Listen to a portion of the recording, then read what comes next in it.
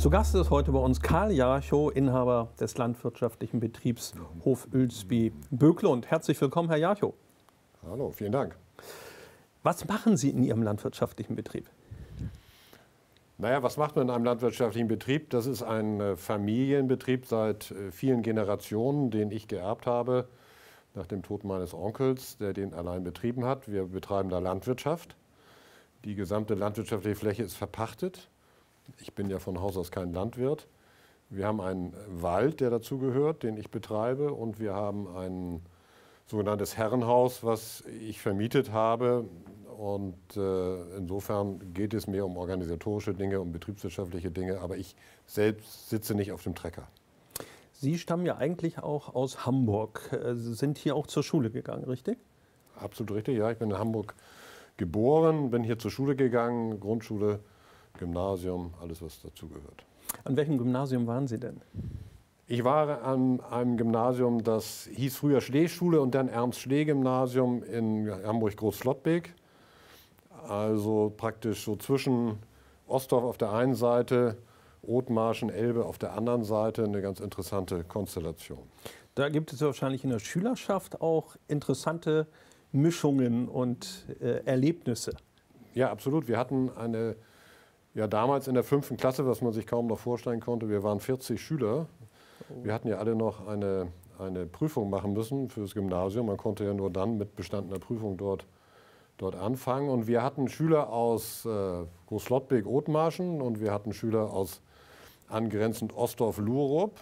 Und wir hatten als Besonderheit auch immer noch acht bis zehn Schüler aus Finkenwerder, die jeden Tag über, mit der Fähre rüberkamen, weil es in Finkenwerder kein Gymnasium gab. Insofern war es eine recht interessante Durchmischung der Schülerschaft. Wie kommt man denn aus Finkenwerder mit der Fähre, okay, dann ans andere Elbufer und wie ging es dann weiter zur Schule? Ja, die kamen ja mit der Fähre in Teufelsbrück an und fuhren dann mit dem Linienbus von Teufelsbrück zu uns äh, nach äh, Großloppig in, in, die, in die Schule. Aber diese Fähre fährt wahrscheinlich auch nicht alle fünf Minuten. Das muss ja ein recht aufwendiger Schulweg gewesen sein. Ja, das war wohl. Ich weiß gar nicht, wie lange die insgesamt gebraucht haben. Hing natürlich auch davon ab, wie lange sie zur Fähre brauchten. Aber auf jeden Fall hatten wir immer diese lustige Situation, dass dann so in der sechsten Stunde sich irgendeiner der Finkenwerder meldete und sagte, auf die Finkenwerder gehen dürften. Die Fähre würde gleich gehen, die würden sie sonst verpassen. Und dann habe auch ich mich gerne angeschlossen und bin auch raus aus dem Unterricht etwas früher. Ja, das war lustig. Aber das ging. Das haben die jeden Tag durchgezogen. Die Lehrerinnen und Lehrer hatten Verständnis für diese Situation. Hatten ja gar keine Wahl. Ich meine, sonst ja. haben die wieder eine Stunde warten müssen. Das ging ja auch nur um fünf, sechs Minuten. Das war nicht entscheidend. Okay. Ähm, nach der Schule haben Sie ja ein wenig hin und her überlegt, was Sie machten und haben sich dann für eine Lehre entschieden. Ja, ich hab, hatte mich zu entscheiden nach dem Abitur, ob ich jetzt studiere oder ob ich erstmal eine praktische Ausbildung mache und habe dann, äh, da ich von der Theorie ein bisschen die Nase voll hatte, habe ich mich entschieden, eine Außenhandelskaufmannslehre zu machen in Hamburg und das habe ich dann auch getan. Wie haben Sie die Position dafür gefunden? Naja, wenn man eine kaufmännische Lehre machen will, dann gibt es ja nur zwei Varianten. Eine, entweder macht man eine Banklehre oder macht Außenhandel. Ich fand Außenhandel spannender, weil man da auch mal ins Ausland jedenfalls hofft zu kommen habe dann mit Hilfe unter anderem meines Vaters eine Firma ausgesucht, da habe ich mich beworben und bin angenommen worden. Was war das für eine Firma? Wie hieß die? Die hieß Cosmos Export. Äh, das war eine relativ, eine mittelgroße Außenhandelsfirma, die sich spezialisiert hatte auf die Lieferung, Planung von äh, Anlagen für die Getränkeindustrie und auch mit der Lieferung von den Materialien, die man dann anschließend noch braucht, den sogenannten After-Sales-Business. In welchen Regionen wurden, da diese Brauereien erstellt? Ja, das war eben sehr interessant. Das war sehr umfassend. Das heißt, trotz dieser kleinen Firma, die es allerdings schon sehr lange gab, äh, war das sowohl in Afrika als auch in Asien als auch in Südamerika. Wenn Sie sagen kleine Firma, wie viele Mitarbeiter hatte die Firma denn? Die hatte fest in Hamburg 30 Mitarbeiter, hatte allerdings auch noch einige Auswärtige, also in, in, Lagos ein Vertreter und so in größeren Städten, wo wir sehr aktiv waren, hatten wir auch Vertretung. Und wie viele Auszubildende gab es parallel? Außer mir keinen. Oh. Ich war auch der Erste seit Jahren. Eine exklusive ja, Stellung. Ja. Das habe ich auch weitlich ausgenutzt. Aber was haben Sie dann gemacht? Was waren so die praktischen Tätigkeiten, die, die Sie erledigt haben? Was hat die Firma gemacht vor Ort? Wie muss man sich das vorstellen? Naja, der große Vorteil für mich als einziger Lehrling in einer relativ kleinen Firma war der, dass ich überall sofort eigentlich, ich durchwanderte die Abteilung. Das war mal interessant, mal nicht so interessant. Die Buchhaltung war nicht so interessant. Aber ich hab, war dann in der Handelsabteilung. Ich habe dann sofort, äh, dort bin ich äh, in die Sachbearbeitung eingestiegen. Ich war äh, in der technischen Abteilung, wo die die Brauereien geplant haben. Das war natürlich schon interessant, dieses, dass man sofort integriert wurde und nicht nur irgendwelche Ablagejobs oder sonst was zu tun hatte und war relativ schnell da eigentlich äh, vollwertig tätig. Und das äh, hat mir natürlich sehr gut gefallen. Die Ausbildung dauert zwei Jahre für Abiturienten an der, an der, an der Handelsschule. Und äh, das waren eigentlich sehr interessante Jahre, muss ich sagen. Ähm, Sie mussten aber nicht in der Zeit dann Ihren Wehrdienst antreten. Nee, das musste ich nicht. Ich bin zwar ein paar Mal gemustert worden, aber ich hatte als, als, als Jugendlicher im, im, Alter von sieben Jahren mal äh, sehr stark Asthma aufgrund von Allergien. Und bei Asthma und Allergien ist die Bundeswehr damals schon sehr zurückhaltend gewesen, weil die immer Angst hatten, dass man vielleicht einen Rückfall hat bei der Bundeswehr und man dann irgendwelche Ansprüche hat. Insofern hat man mich immer zurückgestellt. Ah, okay. Und dann ist es auch nicht mehr dazu gekommen. Irgendwann hat dann meine Firma Unabkömmlichkeitsantrag gestellt, als man mich holen wollte weil ich da gerade im Auslandsprojekt tätig war. Und äh, dann später war ich verheiratet und da wollten sie mich nicht mehr. Ja, nachvollziehbar. Ähm, nach der Lehre sind Sie dann ja bei Cosmos geblieben. Man hat Ihnen ein Angebot gemacht, das Sie nicht ablehnen konnten. Naja, ich hatte ja eigentlich vor, nach der Lehre äh, über ein Studium nachzudenken, aber ähm, da die mir ein sehr interessantes Angebot gemacht hatten, auch mit Auslandstätigkeit, äh, auch relativ gut bezahlt, äh, habe ich mir dann überlegt, was soll ich jetzt eigentlich studieren und bringt mich das eigentlich weiter in dem Bereich, in dem ich arbeiten möchte. Und habe mich dann dagegen entschieden und habe dann das Angebot angenommen und bin dort geblieben als Festangestellter. Ja.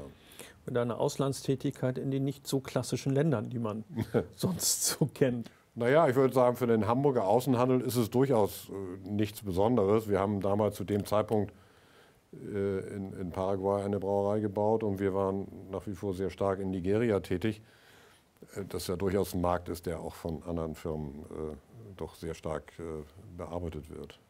Wie muss man sich das vorstellen? Wie, wie, wie, funktioniert so ein Gesamtgeschäft? Also man errichtet eine Brauerei an einem Ort, aber äh, bis dann ein fertiges Produkt an den Endkunden verkauft wird, muss ja eine Vielzahl von Dingen zusammenlaufen. Was, was musste alles koordiniert werden? Was waren Ihre Aufgaben? Was wurde vielleicht auch neu erschlossen? Naja, unsere Aufgabe äh, war natürlich, wir sind ja, waren ja kein produzierendes, sondern Handelsunternehmen und wir haben natürlich mit unseren Technikern die Anlage geplant, technisch geplant haben dann auch die entsprechenden Angebote bei den Maschinenfirmen eingeholt, äh, meist deutsche Firmen zu dem Zeitpunkt, und haben daraus ein Projekt gemacht, äh, was angeboten wurde. Wenn es angenommen wurde, waren wir auch für die Vor äh, Durchführung. das heißt, wir haben dann vor Ort Leute installiert, Montageleiter und und Bauleiter, die vor Ort für uns tätig waren, um das äh, Projekt äh, dort zu beobachten. Und das Ganze wurde dann eben von den deutschen Maschinenfirmen, wurden die Monteure runtergeschickt und die haben das dort in wochenlanger Arbeit, haben die die äh, Anlagen errichtet. Dann war als der nächste Schritt war, jemand äh, zu finden, der die technische Leitung macht, beziehungsweise den Braumeister, die alle dann auch äh, traditionell aus Deutschland kamen. Das heißt, den haben wir auch gesucht, den haben wir dort äh, unten platziert und wir haben zum Beispiel in dem einen Fall in Nigeria auch mit, einer, mit, mit deutschen Brauereien zusammengearbeitet. In dem Falle war es die Holzenbrauerei äh, und haben deren Know-how und äh, auch mit einbezogen und haben auch dann unter Lizenz dort äh, Hamburger Bier verkauft. Das heißt, man konnte in Nigeria ein Bier kaufen, das hieß Bergedorfer Bier. Eine reine Exportmarke, die es hier gar nicht gab, aber ja. die konnte man da kaufen. Wie viel Zeit haben Sie denn damals in Hamburg, in Paraguay, in Nigeria äh, verbracht? Wie haben Sie das aufgeteilt? Oh Gott, das ist schon so lange her, da muss ich nachdenken. Aber nachher war es mit Nigeria, auch in späteren Jahren war es eigentlich ähm, äh, alle sechs bis acht Wochen war ich da unten. Mhm. Kann man sagen. In Ihrer nächsten Station sind Sie ja der Tätigkeit treu geblieben, sind aber von einem eher kleinen Unternehmen mhm. mit 50 Mitarbeitern in ein sehr großes gewechselt. Wie, wie, wie ist es dazu gekommen? Ja, ich wurde äh, eines Tages angesprochen von, von einem Mitarbeiter äh, des Hamburger Handelshauses Coutinho Caro und Co., CCC. die auch in Nigeria tätig waren, unter anderem, äh, ob ich mir vorstellen könnte, bei denen eine Tätigkeit in dem Bereich Brauereien aufzunehmen. Äh, ich habe mir das überlegt. CCC war natürlich ein ganz anderes Kaliber. Es war eine riesen Handelsfirma mit verschiedensten Abteilungen, mit einer Exporthandelsabteilung, mit einer Hochbauabteilung, mit einer Industrieanlagenabteilung, mit in Hamburg alleine über 500 Mitarbeitern und schon damals einen Milliardenumsatz. Das war natürlich eine ganz andere Hausnummer. Ähm, ich habe mir das überlegt, aber aufgrund der Perspektive, die ich mir da vorgestellt habe, habe ich es denn gemacht und bin dann nach drei Jahren drei Jahre nach meiner Lehre habe ich noch bei Cosmos verbracht und dann bin ich zu CCC gewechselt. Ja. Vom Tätigkeitsbereich her war es ja durchaus vergleichbar, aber Sie konnten dann ja äh, durch, durch, Ihre Ideen ähm, den Tätigkeitsbereich der CCC nochmal erweitern.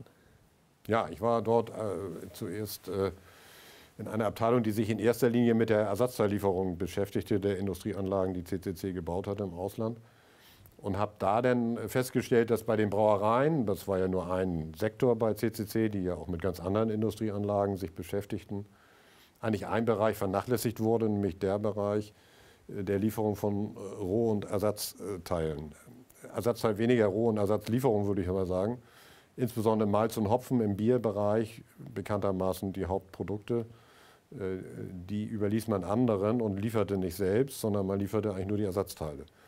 Und da habe ich ein Konzept entwickelt und der, dem zuständigen Geschäftsführer vorgestellt, wie man das meiner Meinung nach machen müsste.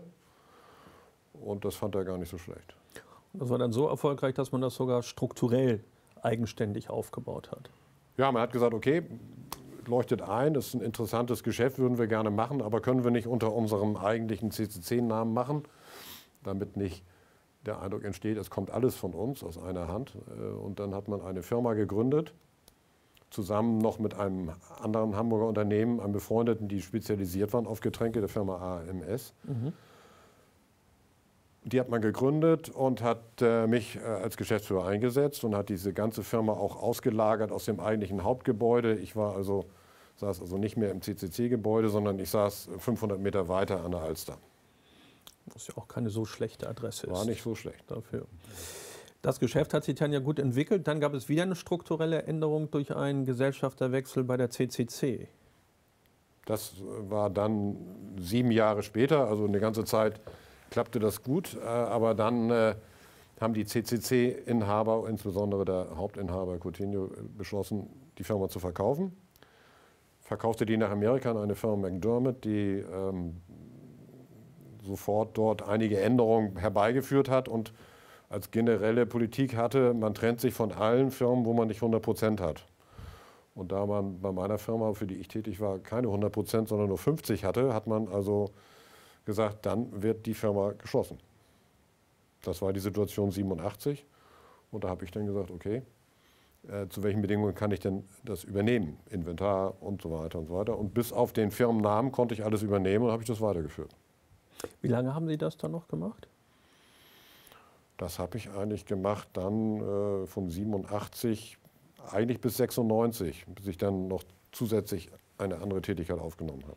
Sie haben dann auch so sind ein wenig von der Brauerei weg in den, in den Kautschukbereich gewechselt. Wie kam es dazu?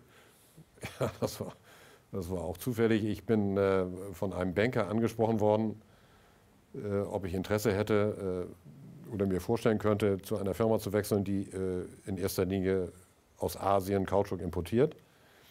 Die Firma Paul Tiefenbacher. Die brauchten jemanden, weil der Senior sich zurückgezogen hatte und äh, vorher hatte er noch den Großteil seiner Firma an seinen malaysischen Kunden verkauft, eine Plantagenfirma. Und es äh, ist eine sehr traditionsreiche, uralte Hamburger Firma, Tiefenbacher. Habe ich mich mit denen getroffen, habe mich damit beschäftigt. Es war ja auch Außenhandel, in dem Fall eben mehr Import und kein Export, wie ich es bisher gemacht hatte. Aber die Länder waren angenehmer als Afrika. Und ähm, dann haben wir uns geeinigt und dann habe ich da einen Vertrag unterschrieben. Wie ist denn da die, die Lieferkette? Wie, wie, wird, wie produziert man Kautschuk? Wie wird es transportiert? Wer verbraucht es am Ende?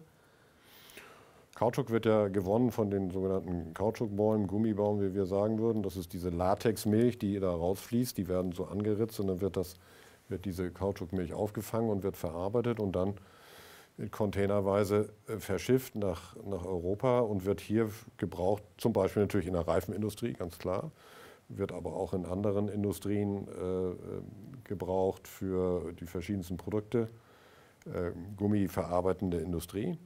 Und äh, ja, diese Kautschukbäume, die tragen eine ganze Zeit von Jahren und dann sind sie, sind sie, äh, sind sie leer sozusagen, dann passiert nichts mehr. Und äh, dann setzt eben der Prozess ein, der immer sehr stark kritisiert wird, zu Recht, dass man früher die Brand gerodet hat und wieder mhm. aufgeforstet hat. Okay.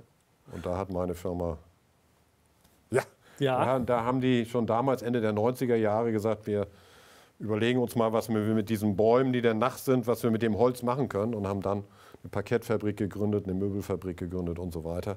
Haben also dieses Holz äh, wiederverwertet. Das war, war, ein guter Ansatz schon damals. Und damals noch, als der Begriff Nachhaltigkeit nicht in aller Munde war, schon war genau schon ein bisschen so früher. Ne? Gedacht, ja, ja, war Ende der, Ende der 90er. Ja. Was haben Sie dann als nächstes gemacht?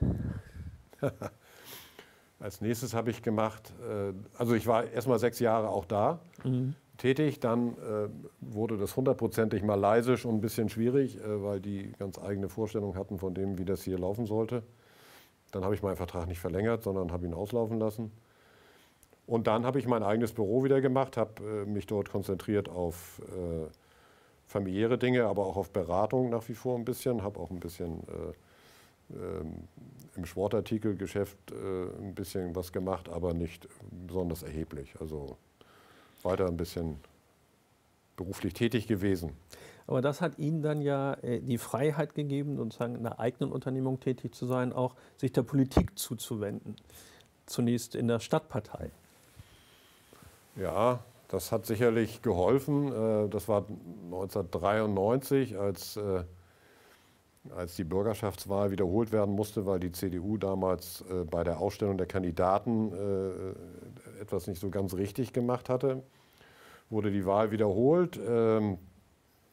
Markus Wegner von der CDU damals ausgetreten, im Zorn weggegangen. Der war meistens zornig und ähm, hatte die Stadtpartei die Wählerinitiative gegründet. Davon hatte ich gehört, im Abendblatt gelesen, habe dann als einer der ersten mich da auch gemeldet, einfach mal Interesse halber. Und dann haben wir diese Wählerinitiative gegründet und Drei Monate später war Bürgerschaftswahl und wir saßen auf einmal mit unserer kleinen Wählerinitiative, hatten äh, es also die 5%-Hürde geschafft. Das war natürlich schon gewaltig. Ich war stellvertretender Vorsitzender, aber nicht in der Bürgerschaft, das hatten wir getrennt. Ähm, und drei Monate später äh, hatte sich die, hatten sich die Verhandlungen zwischen SPD und Grünen zerschlagen und Foscherau fing an, Gespräche mit der Stadtpartei zu führen über die Bildung eines Senats, was natürlich auch schon ein einschneidender Schnitt war für eine Wählerinitiative. Und dann saß man im November des gleichen Jahres, also nachdem man gerade vier Monate alt war oder fünf, hatten wir Koalitionsverhandlungen mit den, mit den SPD-Größen zu führen. Das ist ja das ist wahrscheinlich auch schwierig mit, mit ja. so Vollblutpolitikern äh, auf der Gegenseite, die natürlich auch es gewohnt sind, ihre Interessen durchzusetzen, ja. gegenüber den Idealisten. Wie, wie, wie, hat sich das denn abgespielt? Naja, das Herrschaftswissen war nicht auf unserer Seite, das ja. kann man nicht gerade behaupten. Äh, wir hatten äh, zwei Abgeordnete, die waren vorher übergetreten, einer von der CDU, einer von der SPD, die waren ein bisschen erfahren. Wir hatten den einen oder anderen aus der Verwaltung. Aber wir haben natürlich für die einzelnen Bereiche die wir äh, dort mit denen abgehandelt haben, da hatten wir natürlich äh, schon riesen Nachteile gegenüber der SPD. Ich habe, äh, das war ganz lustig am Rande, ich hab, war zuständig für den Bereich Sport komischerweise und habe mit Herrn Hackmann darüber verhandelt, ähm, wie wir mit dem Volksparkstadion umgehen, 93 wohlgemerkt, mhm. und habe dann ähm, ihn überreden können, dass wir reinschreiben, wenn jemand für einen Euro bereit ist, dieses Stadion völlig neu zu bauen, nur äh, wenn jemand bereit ist, das Stadion neu zu bauen, kann das für einen Euro erwerben. Und dann hat Hackmann zu mir gesagt, können wir gerne reinschreiben, kommt eh nie jemand. Und äh, einige Jahre später, als er Vorstandsvorsitzender des HSV war, haben sie das dann, wurde das dann durchgezogen für einen Euro. Das Herrschaftswissen, ja. gleich noch ein paar Schritte weiter gedacht. Ja. Aber immerhin sind für äh, Ihre Partei dann ja zwei Senatorenposten rausgesprungen. Ja, wir haben natürlich, äh, wir haben zwei Senatorenposten bekommen, einmal Wirtschaft einmal Justiz, also nicht unwichtig. Wir haben den Kardinalfehler gemacht. Äh, der Gedanke dahinter war immer bei Stadtpartei, es soll nach ähm, Fähigkeiten besetzt werden und nicht nach Proports. Und ähm, insofern hat man sich dann entschieden, diese beiden Senatoren zu besetzen mit Nicht-Parteimitgliedern. Ist ein hehrer Gedanke, ist aber, hat auch seine Nachteile gehabt am Ende, dass es überhaupt keine Rückkopplung da gab, insbesondere als, als wir den, den Justizsenator einmal austauschen mussten, weil der wieder zurückging nach, nach Sachsen, kam mhm. dann der Hoffmann Riem dort rein sehr bekannter, sogar Bundesverfassungsrichter später, äh, Jurist, der eigentlich ein Sozialdemokrat war und der, den die Stadtpartei überhaupt nicht interessierte. Da gab es keine Rückkopplung. Also das war, war zweischneidig, aber wir hatten zwei Senatoren, ja, das stimmt. Das hat dann für eine Legislaturperiode gehalten. Mhm. Äh, danach war es dann ja vorbei. Ähm, Sie haben dann ja aber auch der Stadtpartei nach einer gewissen Zeit erstmal den Rücken gekehrt. Ja, ich war drei Jahre Mitglied, ähm, davon zwei Jahre äh, stellvertretender Vorsitzender. Es kam dann die Frage auf, um, weil die nächsten Wahlen näher kamen, ob ich bereit wäre, Spitzenkandidat zu werden. Ähm, da habe ich mir das angeguckt, wie das so lief und wie weit man sich auch so intern von den eigenen Prinzipien entfernt hatte und habe dann denen gesagt, also ich möchte das nicht und habe das also abgelehnt. Das wurde am Ende dann Jürgen Hunke, der ist ja auch nicht ganz unbekannt. Bin dann noch ein bisschen in der Partei geblieben, aber bin dann äh, nach einer gewissen Karenzzeit äh, ausgetreten. Ende 96. Aber nach einer gewissen Zeit der Parteiabstinenz sind Sie dann wieder einer anderen Partei beigetreten. Ja, das war über zehn Jahre immerhin dazwischen, aber dann bin ich in die FDP eingetreten 2007.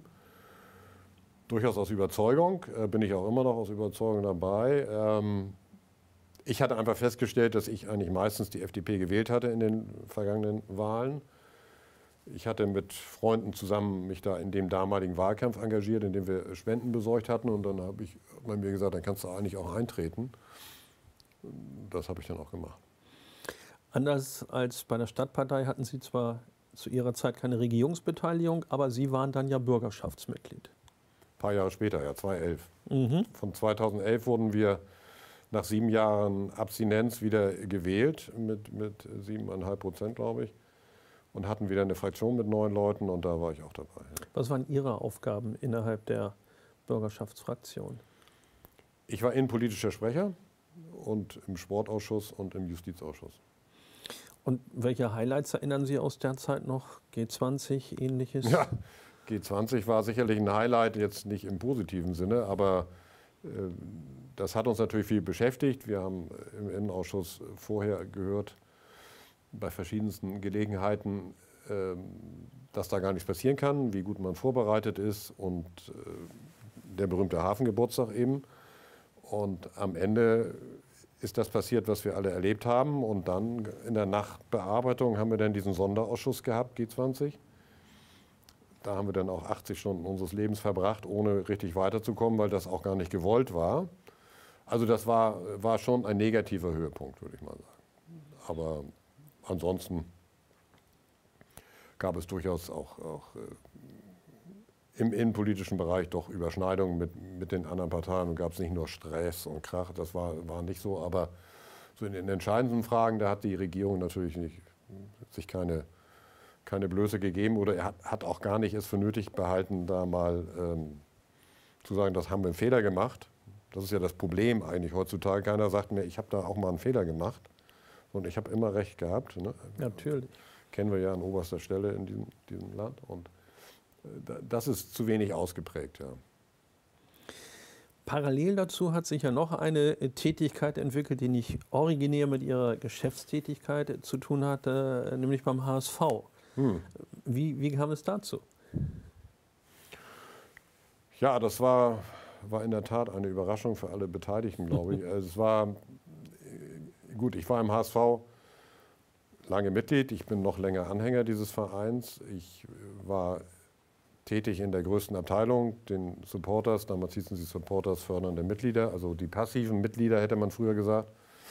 War ich in der Abteilungsleitung mal eine ganze Zeit. Ich war dann auch drei Jahre als Nachfolger von Henning Vorschauer Mitglied im Aufsichtsrat des HSV. Und auch sonst da tätig, aber das dann in einer sportlich und wirtschaftlich schwierigen Situation 2011 äh, man sich von meinem Vorgänger Herrn Hoffmann trennte und mich dann unter anderem ansprach, hat mich auch überrascht, aber gut, das, ähm, ich, ich kannte da Leute aus dem Aufsichtsrat, die kannten mich auch. Es ging ja in erster Linie um eine kommissarische Übernahme, damit dieser Posten immer besetzt ist, wie satzungsgemäß vorgeschrieben. Sie haben es dann kommissarisch übernommen, aber dann ja nachher auch äh, regulär. Ja, ja, ich habe es bis Mai, vom März bis Mai kommissarisch äh, übernommen und man hat mich dann gefragt, ob ich bereit wäre, das hauptberuflich zu machen und habe dann einen Dreijahresvertrag unterschrieben.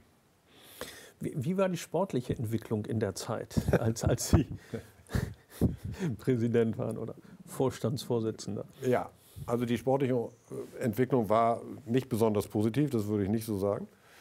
Ähm, als wir ins Amt kamen, also auch mein, Kollege Hilke, der noch dabei war, ähm, waren wir so Achter, Siebter in der Saison.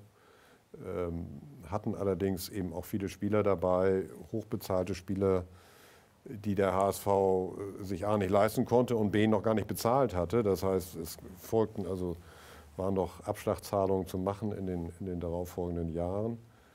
Äh, dann mussten wir, als wir einen finanziellen äh, Überblick hatten, mussten wir feststellen, dass wenn wir so weitermachen, wir wahrscheinlich im Sommer insolvent wären. Das ist ja keine schöne Vorstellung. Insofern mussten wir ähm, sparen. Wir mussten, äh, konnten uns wenig neue Spieler erlauben und äh, haben dann auf, auf jüngere Spieler setzen müssen. Es gab gar keine andere Wahl, was dazu führte, dass wir dann äh, eben in den unteren Bereich der Tabelle abgerutscht sind, jedenfalls vorübergehend. Wir haben das dann, ähm, wir waren auch ein Jahr, 2013 ähm, waren wir am Ende siebter, also durchaus im oberen Teil, aber waren dann wieder äh, Im Jahre 14 haben wir in der, sind wir Drittletzter geworden mit Glück und mit noch mehr Glück nicht abgestiegen. Das gehört auch zur Wahrheit. Das war ja, glaube ich, sogar Ihr Vorgänger, der mal den Satz prägte, äh, Profifußball ist die Kunst, äh, bei größtmöglichem sportlichem Erfolg möglichst knapp an der Insolvenz vorbeizuschrammen. ähm, kann man einen Verein wirklich so führen? Nicht auf Dauer. Äh, nicht auf Dauer. Und insofern ähm, haben wir ja damals sehr stark auch, äh, ich habe das sehr stark unterstützt, diese Ausgliederungsgeschichte gemacht und haben gesagt, wir müssen einfach den Profiteil äh, vom äh, gemeinwirtschaftlichen ähm, EV abtrennen und wir müssen sehen, dass wir uns entschulden und wir müssen Geldgeber aufnehmen bzw. Anteilseigner aufnehmen und müssen sehen, dass wir in finanziell vernünftigere Bahnen kommen. Das ist ja dann auch von der Mitgliedschaft mitgetragen worden. Mit großer Mehrheit haben wir diese AG gegründet und äh, ähm, da war ich auch sehr froh darüber, dass das geklappt hat. War eigentlich mein größtes Anliegen in meiner, meiner Zeit da im Vorstand. Und äh, leider Gottes hat man dann aus dieser AG nicht das gemacht, was wir eigentlich den Leuten versprochen hatten, aber das ist ein anderes Thema. Und dennoch konnte man ja wahrscheinlich auch sich glücklich schätzen, so jemanden wie Herrn Kühne in schwierigen Zeiten an der Seite zu haben. Zumindest an die Finanzspritzen, äh, die damit verbundenen äh, äh, Geschäfte sind nicht bekannt, müssen sie auch nicht immer sein. Aber hätte man Alternativen gehabt überhaupt? Ja, das ist, äh, muss man, muss man äh, zweiteilen. Zum einen war Herr Kühne, als ich äh, dort begann, schon engagiert dort bei einem besonderen Modell, was sich Herr Hoffmann ausgedacht hatte. Hat er dem HSV schon Geld gegeben und war damit auch an Spielern beteiligt. Also er war da schon, hatte da schon einen Fuß in der Tür. Er hat dann natürlich auch sicherlich äh, uns geholfen, gar keine Frage. Und äh, er ist begeisterter HSVer. Das steht außer, außer Frage. Ähm, meine Vorstellung war allerdings immer, nachdem wir ausgegliedert hatten, dass wir als Gesellschafter, als Teilhaber äh, nicht äh, irgendwelche Leute, die es aus Hobby machen haben, sondern äh, wirtschaftliche äh, Interessen damit verbinden und sich beteiligen, weil sie ähnlich wie es bei Bayern ist, mit Adidas, mit Audi und solchen Firmen, wo die, die einfach ein wirtschaftliches Interesse haben und sich dort engagieren nicht um, äh, weil sie meinen, da besonders viel Geld zu verdienen, aber weil sie einfach präsent sein wollen bei einem Verein, bei einem bekannten Verein, bei einer Marke. Und das hat man versäumt. Und stattdessen hat man immer Herrn Kühne, dann äh, gestattet, immer mehr Anteile zu erwerben. Und äh, sicherlich hat das nicht dazu geführt, dass es für andere attraktiver wurde. Aber es ist ja spannend zu sehen, einerseits den Profifußball, den Sie sehr eng begleitet haben. Aber Sie waren ja auch ähm, im ehrenamtlichen Bereich tätig. Sie waren im Präsidium des Hamburger Fußballverbandes. Sie kennen den Norddeutschen Fußballverband, Sie kennen den DFB. Was für Welten prallen da aufeinander zwischen äh, den Profivereinen und, und den Ehrenamtern? Und wie kriegt man das deckungsgleich unter dem Dach Fußball? Ja, das ist ganz schwierig. Also ich meine, ich kam ja aus dem, dem, dem Bereich Profifußball, vollkommen richtig, und bin dann ja angesprochen worden nach, nach dieser Zeit, ob ich mir vorstellen könnte, auch im, im, im Hamburger Fußballverband was zu machen, was ich dann, auf die Idee wäre ich nie gekommen, aber ich fand es dann eigentlich ganz gut äh, äh und interessant, sich mal mit der anderen Seite, also nicht mit dem Amateurbereich sozusagen zu beschäftigen. Habe das dann ja auch sechs, über sechs Jahre gemacht.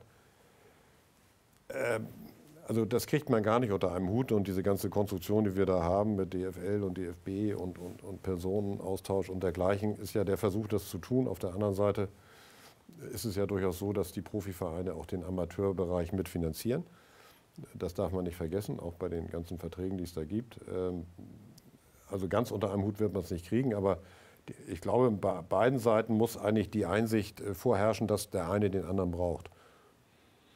Denn die, auch der, der Profibereich ist ja ohne den Nachwuchsbereich völlig aufgeschmissen. Also ich hoffe, dass sich das durchsetzt. Ja, es ist ja auch das, was man sozusagen alle drei Jahre mal bei den DFB-Bundestagen erlebt, wenn es um Personalentscheidungen und ähnliches geht. Äh, äh, gerade äh, in dieser Zeit, über diese berichten, hat ja auch der DFB häufige Wechsel in ja. der Präsidentenposition. Ähm, ist Ihr Gefühl, dass es im Moment jetzt wieder in etwas ruhigerem Fahrwasser ist, dass die Nationalmannschaft jetzt auch mit dem neuen Bundestrainer nach der EM äh, wieder das alte Feuer entfachen kann? Also ruhiger geworden ist es auf jeden Fall. Ich glaube, in den sechs Jahren, in denen ich da, oder gut sechs Jahren, in denen ich da äh, im Fußballverband war, habe ich, hab ich, glaube ich, mindestens drei DFB-Präsidenten erlebt. Glaube ich, mindestens. Ja, mindestens. Und ähm, das ist natürlich ruhiger geworden im Moment. Äh, wobei ich nicht glaube, dass äh, dass alle Schwierigkeiten, auch finanziellen Schwierigkeiten im DFB geregelt sind. Das ist nicht mein Gefühl. Aber es ist für den DFB natürlich extrem wichtig, dass sein, sein, sein Vorzeigeprodukt, nämlich die Nationalmannschaft, wieder ein anderes Standing bekommt. Ähm, dass wir da erfolgreicher sind, dass dort auch mehr Geld verdient wird wieder. Das ist ja das Haupt, die Haupteinnahmequelle. Ähm, da hat man den Eindruck, dass das der Nagelsmann geschafft hat und dass das auch die Medien wohlwollend unterstützen. Das ist ja auch immer nicht ganz unwichtig, äh, wie man so ein Spiel und wie man so Ergebnisse bewertet. Das kann ja doch durchaus sehr unterschiedlich sein. Da habe ich das Gefühl, dass man äh, das auch will von Seiten der Medien und das hilft.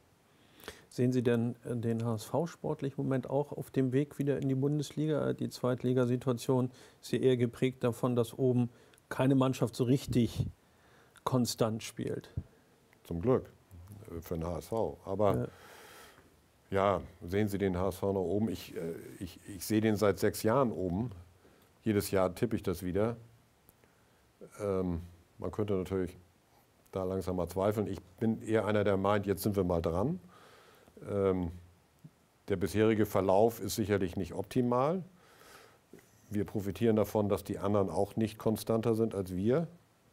Ich sehe da auch nicht den absoluten Überflieger, ehrlich gesagt. Und ich glaube, dass der HSV einfach von seinen Möglichkeiten her, aber das ist, äh, predigen wir seit Jahren, insofern ist das ähm, allgemeingut, von, der, von seinen äh, finanziellen wie auch Kadermöglichkeiten aufsteigen muss. Kommen wir nochmal auf diese andere Tätigkeit, verlassen wir den Fußball, die Politik zurück. Äh, seit gestern wissen wir, es wird am 23. Februar vorgezogene Bundestagswahlen geben. In Hamburg wird zudem am 2. März ähm, die Bürgerschaft neu gewählt. Ähm, wie, wie, sehen Sie die FDP aufgestellt für, für diese beiden Wahlen im Moment? Na, grundsätzlich glaube ich, hat sich unsere Ausgangsbasis äh, verbessert in der letzten Woche, nachdem äh, die Ampelgeschichte beendet war. Das war schon eine außergewöhnliche Belastung, die gerade wir von äh, zu tragen hatten, weil gerade unsere Wähler, glaube ich, äh, mit vielem, was dort entschieden worden ist, nur schwer leben konnten. Ging mir zum Teil auch so. Insofern ist das eine gewisse Erleichterung da. Die Umstände, wie es geschehen ist, haben auch dazu geführt, dass ich konstatiere, zurzeit haben wir einen unglaublichen Zulauf an neuen Mitgliedern. Jetzt seit der letzten seit Woche. Seit der letzten also Woche, ja. genau seit dem Ausstieg aus dem oder rausschmiss, könnte man ja fast sagen, aus der Ampel. Ob das so weitergeht, wie sich das entwickelt, weiß ich nicht. Ich glaube, unsere Ausgangsbasis hat sich dadurch verbessert, äh, insbesondere für Berlin, für den Bundestag. Äh, für die Bürgerschaft ist es unverändert. Ich, äh, wir sind da immer hart an der Kante der 5 Prozent, haben häufig das Problem, jedenfalls hatten wir es beim letzten Mal, die Funktion ist schwer zu erkennen, die die FDP hat. Die Leute wählen dann die FDP, wenn sie sagen, wir wollen die FDP in einer Regierung unterstützen, in, in einer gewissen ähm, Situation unterstützen. Wenn aber von vornherein es nur um Rot-Grün oder Grün-Rot geht, ist es immer schwieriger, eine Funktion zu entwickeln. Ja. Dann ist es ja auch die Frage gerade der, der Wirtschaftskompetenz, äh, die, die man der FDP immer noch zutraut, die vielleicht in der, in der Ampelkoalition nicht so durchgedrungen ist. Aber gerade wenn man sich jetzt auch losgelöst von Hamburg und Berlin die, die gesamtpolitische, weltpolitische Lage anguckt, der, der äh, Rauswurf von Herrn Lindner kam ja nahezu zeitgleich mit der US-Präsidentenwahl und Kongresswahl in Teilen. Ähm, die Europawahl liegt äh, noch nicht mal ein halbes Jahr hinter uns, auch mit gewissen Tendenzen. Ähm, es ist ja, der Kanzler sprach im Zusammenhang mit, mit äh, dem Krieg in der Ukraine mal von einer Zeitenwende. Ähm, wie, wie, muss sich eine Partei auch auf diese komplett, selbst wenn man sich mit, mit einer wirtschaftspolitischen Kompetenz positioniert, wie muss man diese gesamte Entwicklung äh, international, auf europäischer Ebene, in Deutschland, wie kann man darauf neue Antworten finden? Machen Sie auch ein neues Grundsatzprogramm? Wie geht man damit um? Nein, ein neues Grundsatzprogramm werden wir im Moment nicht machen. Unseres ist noch gar nicht mal so alt. Aber wir werden natürlich ähm, und müssen permanent uns auf die neuen Gegebenheiten einstellen. Wir haben ja dieses Wirtschaftspapier von Christian Lindner, was er, was er zwei, zehn Tage vor dem Ende der Ampel da präsentiert hat, worüber sich dann die anderen beiden Parteien unheimlich echauffiert haben. Wobei sie denn nicht erwähnt haben, dass ja Herr Habeck ein ähnliches Papier gemacht hat aus seiner Sicht und Herr Scholz auch seine Maßnahmen. Insofern haben alle drei da was dazu beigetragen, worüber man hätte reden können. Ähm, ich glaube, das, was der Lindner dort verschickt hat, ist schon, was die Wirtschaft angeht, schon unser, unser Kern, der Kern der, der liberalen Partei, wie wir uns das vorstellen. Und das geht ja in alle Bereiche rein. Wenn Sie nur den Bereich Schuldenbremse nehmen, äh, dann sind wir ja, glaube ich, diejenigen, die am, am klarsten äh, sagen, nein, wir halten uns daran, wir wollen auch, dass die bleibt, ähm, weil alles andere auf Schulden aufzubauen und nicht bereit zu sein, in anderen Bereichen was einzusparen, geht zulasten der nächsten Generation. Das ist ja kein leerer Satz, das ist ja so. Und äh, es klingt dann immer so, als ob wir im Moment keine Schulden machen. Wir machen aber 50 Milliarden neue Schulden. Das ist noch im Rahmen der Schuldenbremse erlaubt. Insofern äh, machen wir schon Schulden, aber das dann immer äh, aus Angst davor, im Sozialbereich irgendwas zu kürzen, äh, immer neue Schulden zu machen, das ist, glaube ich, nicht die Lösung. Und da müssen wir ansetzen. Und so geht es auch mit den Verteidigungsausgaben weiter und mit allen anderen Bereichen auch. Wenn wir nicht bereit sind, als Regierung mal zu sagen, wir, wir haben ja Rekordsteuereinnahmen. Es ist ja nicht so, dass der Staat kein Geld hat, sondern wir haben Rekordeinnahmen. Wir sind aber nicht bereit, wenn, für andere Projekte irgendwo mal zu sagen, wir müssen auch mal streichen, wir müssen auch mal sparen. Ja, ist, man liest, glaube ich, fast in jedem Parteiprogramm Entbürokratisierung als Thema. Ähm, Donald Trump will jetzt Elon Musk eine eigene Behörde errichten, die hm. genau das macht, äh, wo er mit sehr tatkräftigen Worten äh, Handlungen ankündigt. Wie, wie, kann man so etwas tatsächlich mal umsetzen? Denn äh, man hat es ja im letzten halben Jahr auch gesehen, auch das war ja durch die FDP initiiert, ähm, dieses Lieferkettengesetz, in Deutschland schon existent, auf europäischer Ebene sollte noch ein anderer Schritt vollzogen werden. Das ist dann nicht zustande gekommen. Jetzt hat der Kanzler gesagt, äh, auch in Deutschland muss man das wieder zurücknehmen. Das ist ja so ein Hü und Hot. Das ist ja auch oftmals schwer nachvollziehbar und der Unternehmer, äh, der davon wirklich betroffen ist, kann sich ja manchmal nur sehr schwer auf etwas einrichten. Wie geht man auch damit um, dass, dass der Adressat dieser ganzen Maßnahmen damit zurechtkommt? Denn das ist ja das, worunter viele Unternehmen, mhm. aber auch Bürgerinnen und Bürger so leiden.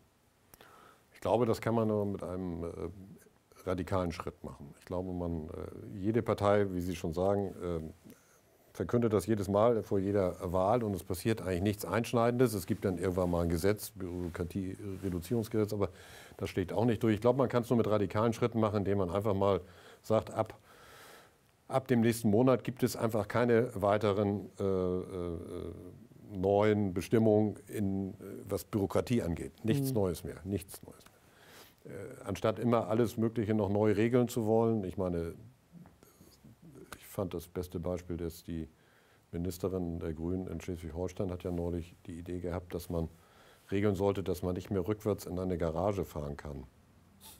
Ja, man hält das für einen Scherz, aber das war wirklich so. Die hat okay. gesagt, also äh, das wird zu gefährlich, weil man nicht genau sieht, wer hinter einem steht. Man sollte eine Regelung äh, äh beschließen, dass man nicht mehr rückwärts in seine eigene Garage fahren kann. So, und das zeigt eigentlich wunderbar diese dieses völlig verrückte Regulierungswut, äh, diese Regulierungswut, die wir haben. Und das kann man nur radikal stoppen, indem man sagt, ab morgen gar nicht mehr. Und dann überlegen muss man, was wir runterfahren können. Ich habe das ja neulich bei Frau von Albedel hier gehört. Die hat es ja auch beispielhaft sehr gut äh, geschildert, wie das in der Gastronomie, welche, das, äh, welche Blüten das treibt. Ja. Da gibt es ja auch so ein Parteiprogramm, ein Rezeptbuch, glaube ich, hat das die DEHOGA genannt ja. dafür. Ja. Aber wäre dann vielleicht auch eine Entbürokratisierungsbehörde mal eine Maßnahme, um das Thema ja. strukturell anzugehen? Die müsste dann aber auch, äh, die müsste dann aber auch die äh, ja, die Macht haben, um wirklich was zu ändern und nicht nur ja. wie der Rechnungshof was vorzuschlagen oder was zu kritisieren, was aber keinerlei Folgen hat. Ja. Das, das hilft uns ja nicht weiter.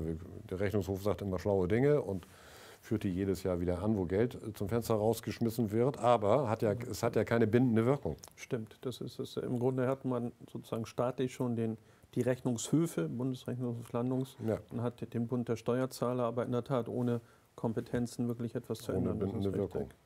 Ja. Zum Abschluss unseres Gesprächs äh, geben wir unseren Gästen über die Möglichkeit, drei Wünsche zu äußern, äh, die mh, mm, in den nächsten zwölf Monaten in Erfüllung gehen sollten. Das kann realistisch, das kann unrealistisch sein. Es kann was aus dem privaten, aus dem geschäftlichen Bereich sein. Was wäre das? Aus dem sportlichen Bereich. Aus dem sportlichen, auch. selbstverständlich. Drei Dinge. Na gut, äh, zum, zum einen natürlich äh, Gesundheit für seine Familie und sich selbst wünscht man sich natürlich äh, vorrangig. Ich wünsche mir eine, dass wir in möglichst kurzer Zeit eine stabile Regierung bekommen.